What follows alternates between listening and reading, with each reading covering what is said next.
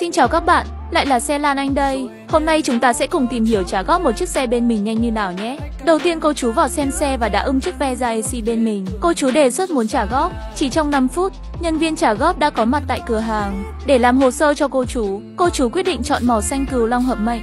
Chỉ hơn 5 phút, hồ sơ đã được duyệt và hoàn thành gói trả góp. Anh kỹ thuật bên mình lắp xe cho khách và hoàn tất thủ tục thanh toán cho cô chú. Sau hơn 30 phút, bên mình bàn giao xe cho cô chú. Các bạn thấy có nhanh gọn không nào? Nếu các bạn muốn tìm hiểu xe điện và xe máy 50cc, hãy đến với Lan Anh, các bạn nhé.